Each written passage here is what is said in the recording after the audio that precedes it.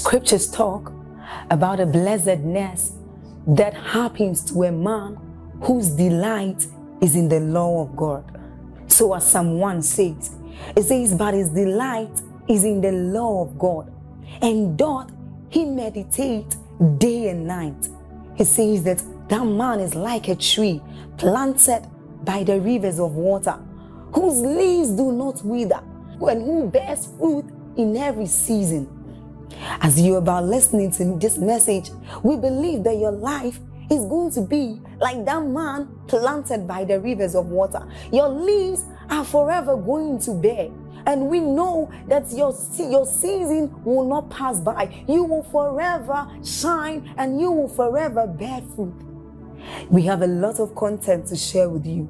So we would entreat you to subscribe to this channel as well as like us hit that notification bell to receive more updates from us because we know that whatever content here is going to set you on course at every time. It's going to make you attain whatever stature that Christ wants you to attain. Thank you. It's an honor to speak in this conference, and I pray that your word will come with power. Bless our hearts and let Jesus be glorified. In Jesus' name. God bless you and thank you. Please be seated.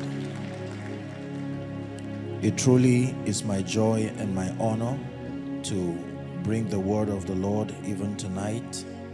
And I appreciate this opportunity. I do not take it for granted. Praise the name of the Lord. It's going to be a very brief session, and I trust that the Lord will grant us understanding. Conferences like this, as I would always say, is an opportunity to encounter the Word of God. The boundary of God's commitment to a believer is His Word. The Word of God defines the boundaries. God is not mandated to commit Himself outside of the jurisdiction of the Word of God. The Word of God defines the boundaries. So every need that the Word of God does not create space for cannot be met. The Bible says he upholds all things by the word of his power. Hallelujah.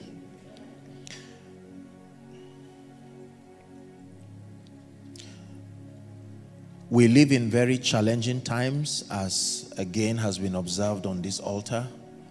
But more than that, I think that the men are being more challenged than we realize. And in fact, one of the ways that God judges a territory is by withdrawing men and what they represent.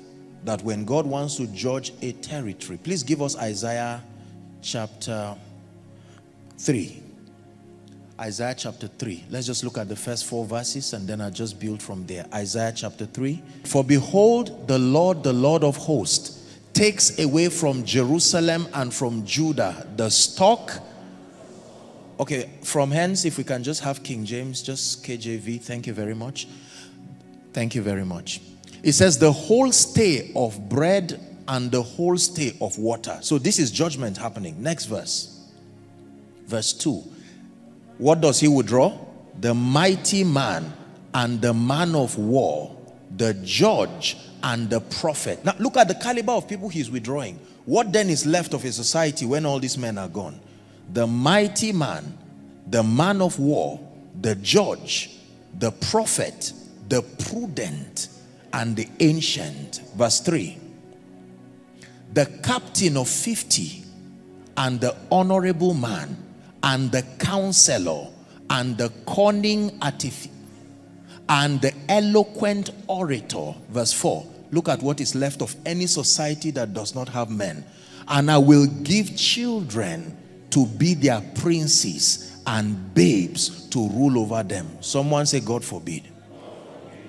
Speak to us, O God, in the name of Jesus Christ.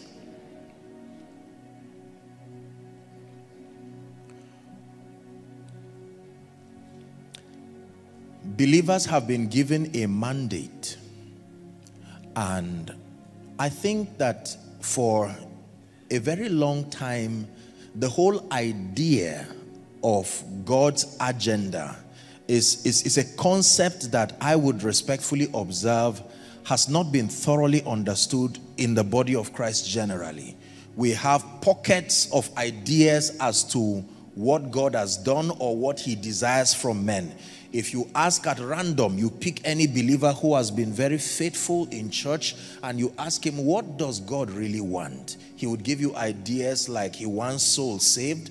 Others will say he wants people blessed. Others will say he wants people to prosper.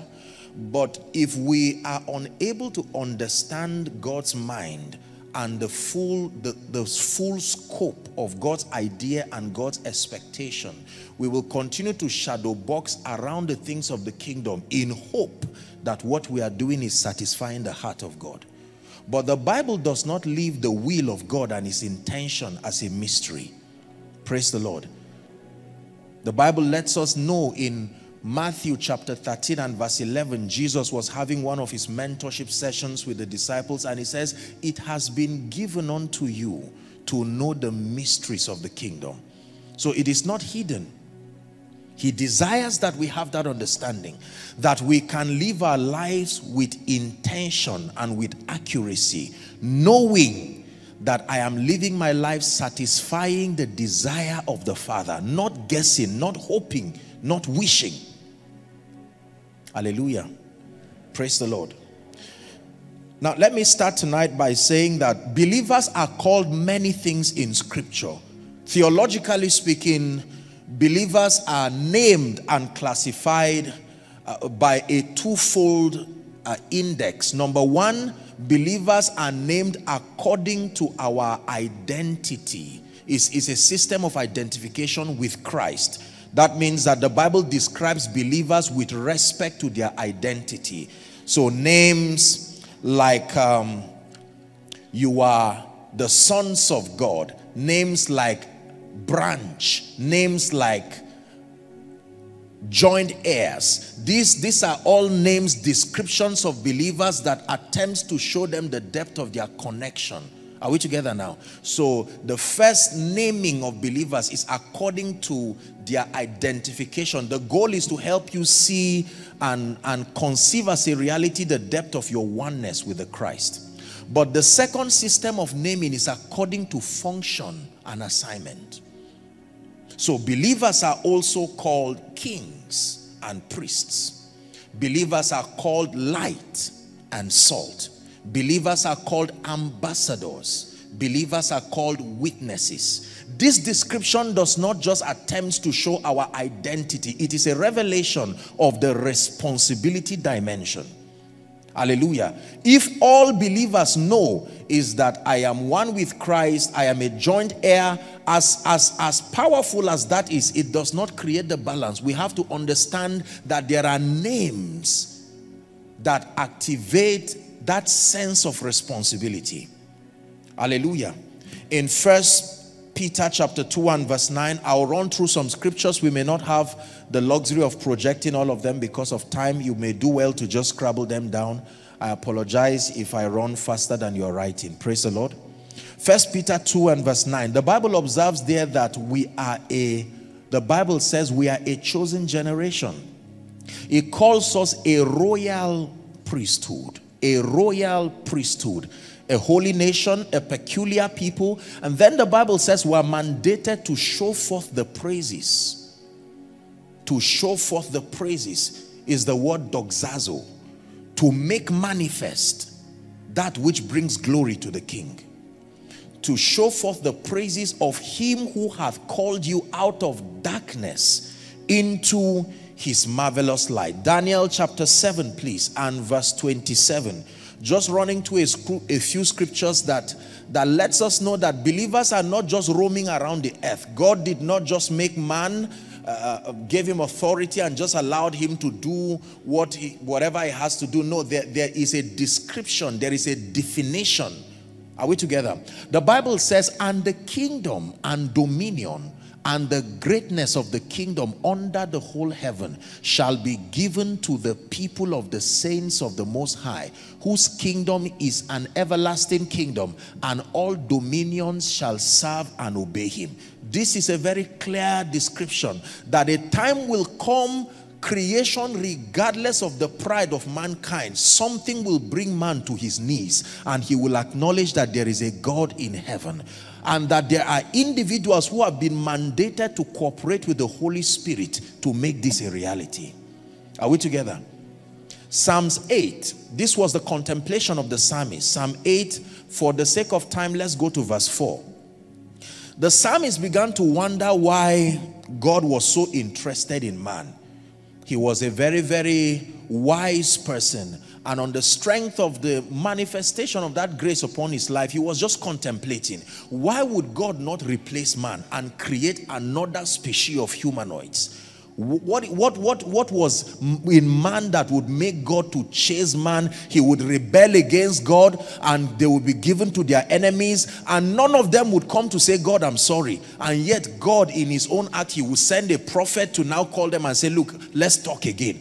God did not hide his vulnerability towards man in scripture. And so the psalmist contemplating on this now began to write, he said, what is man? I wish we had the time when you read the previous verses, you say, when I consider the lilies and this and that and that, he now came to the conclusion that what is man? Just give us from verse 4. That thou art mindful of him and the son of man that thou visitest him verse 5 it says thou hast made him lower than the angels. The word there is elohim. Thou hast made him lower than god not just angelios the beings. You have made him just a little lower than god. Then you have crowned him with glory and honor. The next verse it says thou hast made him to have dominion over the works of thy hands. Thou hast put how many things? All things under his feet. Genesis chapter 1, last verse, and then we'll begin to build from there. From verse 26, this was the account of the creation, or what we would call theologically speaking, the recreation of the earth after the flood that brought judgment in Genesis 1 and verse 2. The Bible says from verse 3, and God said, Light be, and he saw that it was good. Then he began to bring forth other things. When we get to verse 26, the Bible says, And Elohim and God said, let us make man in our own image. Now look at the formation of man. It's amazing how the Bible is very meticulous. It, it tells you what was in the mind of God in the making of man. Praise the Lord. I'm glad that this, this church, this church is, is quite, quite a plethora of absolutely brilliant people. When I was hearing the names, I mean, I was wondering, I said, my God, what a church. When you have a church with so much uh, intellectual resource, I think is, is a great advantage. And so I believe that we're not in ignorance as to um, when, when when the details in a product is described is so that you can appreciate the product. Praise the Lord. When you take a very quality product, you turn to the back of your casing, your wrap, they would go and give you details. It contains vitamins, it contains this. In fact, this has already provided X amount of your recommended daily allowance. So God is not just saying, let's make man. He wants you to appreciate what went into the making of man. Are we together now? And so he says, let us make man, but let us make him after our image. Now, theologically speaking, and I hope I, this does not create any kind of um, debate and all of that, but we know that Adam was not the first man. Adam was the first man created in the image and the likeness of God. Both Bible and science agree to the fact that there had been an existence of humanoid species the Bible tells us that even the first occupant of the Garden of Eden was not Adam himself. It was Lucifer, the son of the morning. Thou was in Eden, the garden of the Lord. Hallelujah. So I'm saying that so that we'll understand this. When, when Lucifer was cast down and there was the judgment that was in Genesis 1 verse 2, when God was making man, Lucifer was somewhere in the horizon watching what was happening. Don't you think it was only God and dust? there was an audience watching the creativity of Elohim, giving to man what made Lucifer. This was what Lucifer wanted. This was the exact reason for the rebellion in heaven. So when God casted Lucifer down, so that he does not look like an insecure God, he said, what I'm dealing with is rebellion. I'm secured enough to give all of me into an entity. Remember that the goal of Satan was to create a parallel government so that you could honor either God or him. That was his offense. He did not want to replace God. He wanted to be an option to God. So when he was judged down, now God, he watched the artistry of God, breathing his own life. Let us make man in our image. What is image? Our character and then our likeness, our functionality. So let us make man in our character and let us make man to function like us. Are we still together? It says, and this species of being, whoever it is that emerges from this word, that man let them have dominion over the fish of the sea, over the fowl of the air. These are different jurisdictions. Are we together now? The sea, the air, and over the cattle and the earth, and over every creeping thing that creepeth upon the earth. 27. So God created man in his own image. In the image of God created he, male and female created he them. 28. Hallelujah. And God blessed them and said unto them, Be fruitful and multiply and replenish the earth and subdue it and have dominion over the fish of the sea, the fowl of the air, every living thing that moves upon the earth. So we know that man is the zenith of God's creation. The symbol of his artistry is man.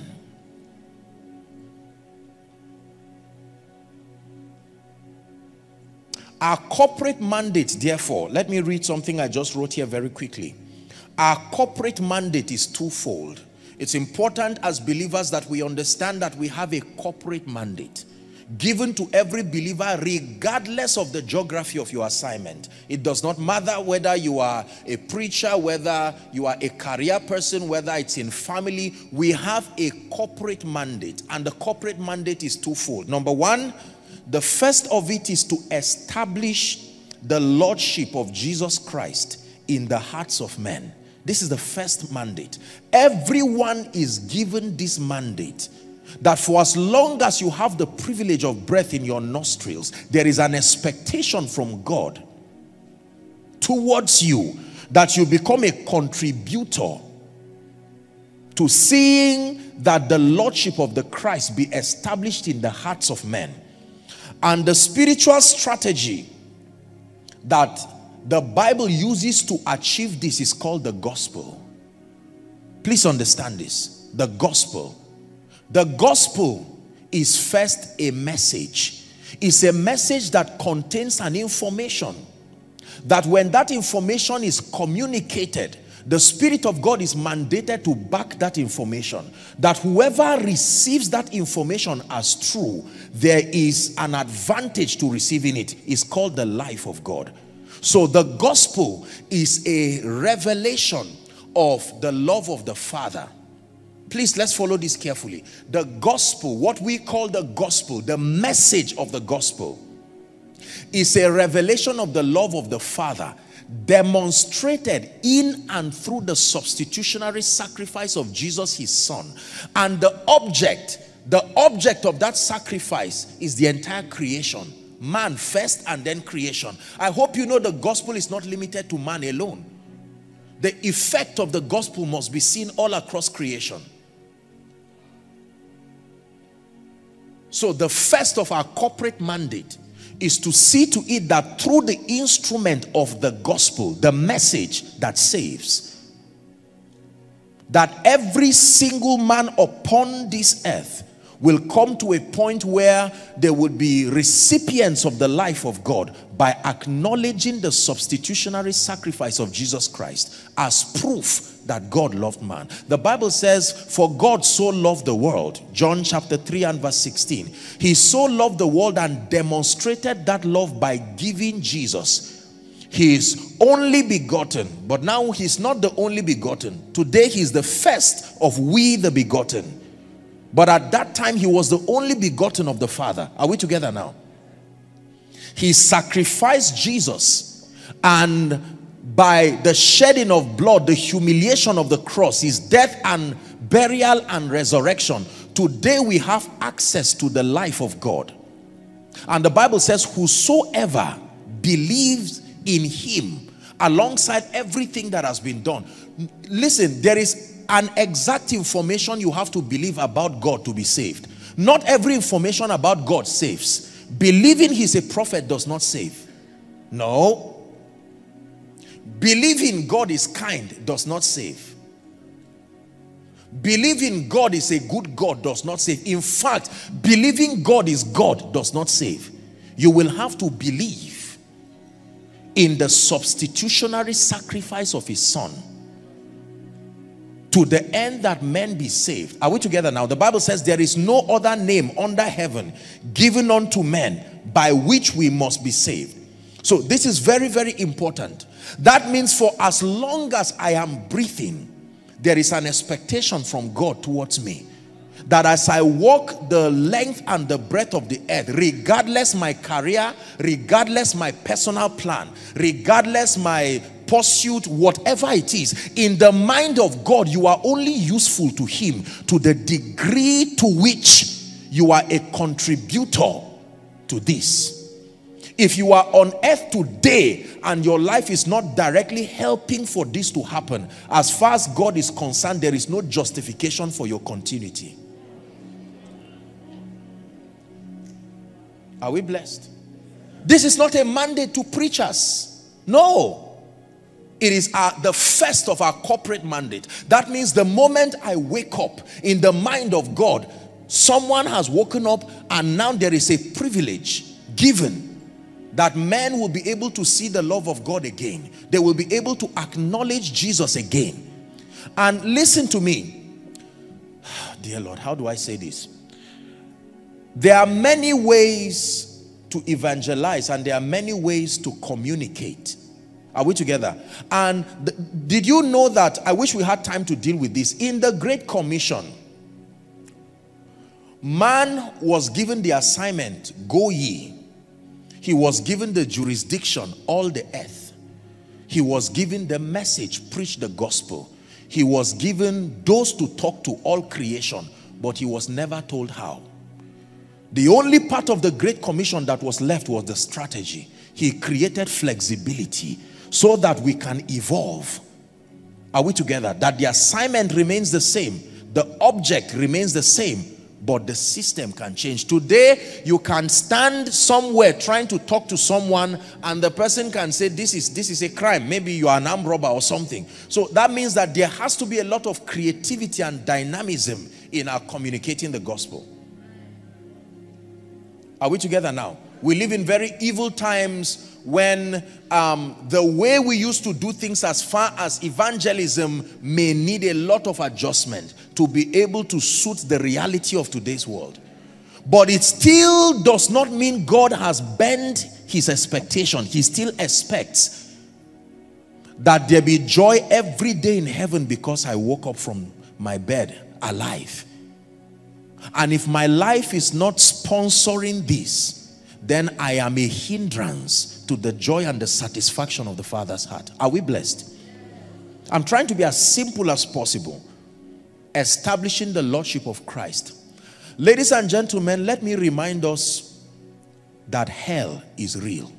I know that for many of us, it's been a long time you heard this, but let me drum it. Hell is real. Someone woke up this morning and is now there as we speak. The Bible says it is appointed unto men to die once, and after it the judgment. Believe me, when people die without Jesus Christ, they are going to hell. Regardless of how we try to convince ourselves, it is a reality. There are people who are going there. Some of them are our loved ones.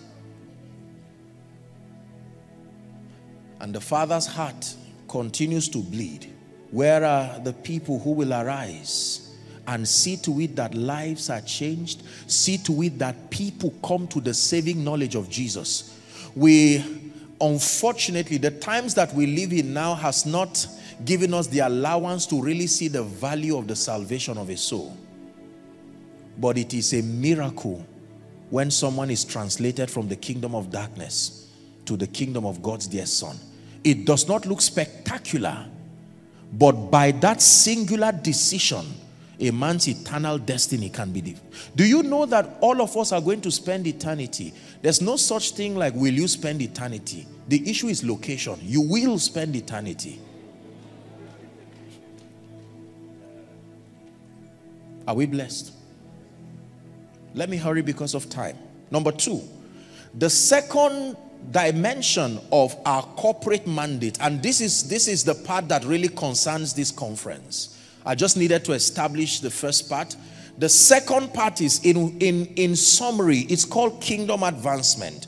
But then the second dimension is establishing the lordship of Jesus Christ across every strata of human activities. That it is not enough to just see that souls or lives are saved. An individual can be saved, but a territory can be unsafe. And it will take extending the ideology of the gospel to institutionalize the value system of the kingdom across every strata of human activities. Failure to do that will endanger those who profess the name of the Lord and it will ultimately sabotage the purposes of God. Our commitment will not end um, in seeing that Christ is established in the hearts of men alone. The territory must come under the influence of the value system of the kingdom. And the primary tool for achieving this is called dominion. Dominion Dominion is a spiritual system by which we bring creation under the influence of the Christ and his value system. Remember the mandate is that let it be done in earth as it is in heaven. God is not the God of Christians, he's the God of all flesh.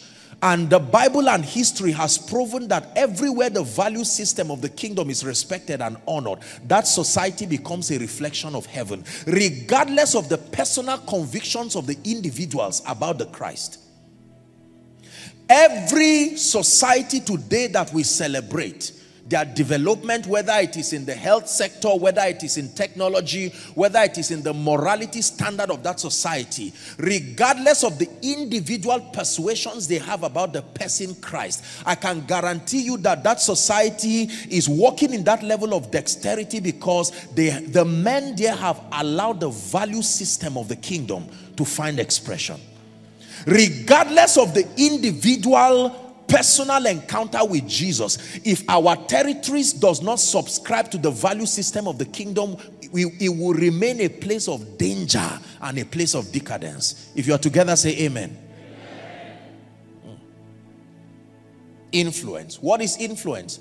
Influence is the ability to compel men to buy into your ideologies without using force or cruelty.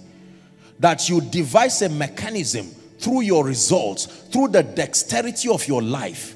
Are we together now? That you substantiate your belief systems with a dimension of results that is so compelling, enough to cause people to change their ideology without using force, without using cruelty is called influence. This is the dimension of kingdom advance the church has neglected. We have done well in evangelism, commendably so but we have ignored influence. And the times that we live in will require that believers attain a dimension of kingdom influence that will allow the value system of the kingdom to be both preserved and extended within a territory. Are we together? Hmm. So this is very, very, very important. I am a, a student of history sociologically speaking, and even from the Bible. And I've studied revivals and I've studied the moves of God and I've studied the socio-economic impact of the gospel across different territories through many centuries. I have found out that every time evangelism was used as the only tool, there was a side effect to the growth of those people. You would find out that they would do well in terms of their personal spiritual growth, but there will be systems that create subjugation of the saints. Are we together now? Yes. That kingdom advance through the gospel is twofold. Number one is the message that saves. Number two is the ideology that creates dominion. It is this twofold operation that makes the saints to be comfortable to serve God and then the territory to be civil enough to allow humans to behave like the zenith of God's creation. Every time you see crime, every time you see decadence, the, the, the, the, the destruction that befalls nations, sadly including Africa, is not necessarily a product of a limitation in evangelism. It is that the other side that has been neglected for years, we are now beginning to pay the price. So we have individuals who can die for Jesus. We have individuals who love Jesus passionately, but we have a territory that is outspokenly rejecting the value system of the kingdom. This conference is an attempt to bring the restoration of that other side. Are we together? Yes. And I can tell you where this started from. When you study through church history, you will find out that there was a period in the church where believers were greatly persecuted under emperors like Nero. Sometimes they would not even last 72 hours. If you gave your life to Jesus Christ, you knew that you would almost, you would be dead in in days. Are we together now? So over a long period of time under that harsh climate of persecution, most believers did not think of things like productivity, creativity, because their ultimate concern was martyrdom. Now under Emperor Constantine and under certain conditions, believers were now allowed the liberty to express themselves and they did not know what else to do with their lives because they had been through seasons of, of martyrdom. Are we together now? And so many of them considered carnal and unspiritual to participate in socio-economic activities. And it began to advance an ideology that makes believers to not participate in socio-economic activities. And sadly speaking, we are still victims of that thinking till today. So the scope, and, and I want to say this respectfully, I know that there are people online following. Um, this is the reason why it is important I, I say this respectfully, even to preachers, we must be enlightened enough to understand the scope of our spiritual communication because the church is a platform for mentorship. People become a reflection of the ideology of their leaders. Are we together? The narrative that limits the relevance of a believer to just evangelism and salvation while allowing creation to, to nosedive. The Bible calls us the light of the world. That means the definition of darkness is the world without the church. Hello. Scriptures exhort us from the book of Proverbs. It says, My son, attend to my sayings, incline thy ears to my words. Let them not depart from thy eyes, and keep them in the midst of thee as you have listened to this message, we believe that you are going to reap the blessings thereof if you attend to these words as well. That you will keep these words in the midst of your heart. That no matter the circumstance, your eyes are going to be fixed on these words. And as you have been blessed, we will tell you to share this message. Be an evangelist by sharing to others to be blessed and then subscribe to this channel for us. Because we have loads of videos we have loads of content that is going to make you blessed that is going to set you on course that is going to set you ablaze. And don't forget to like for us. Thank you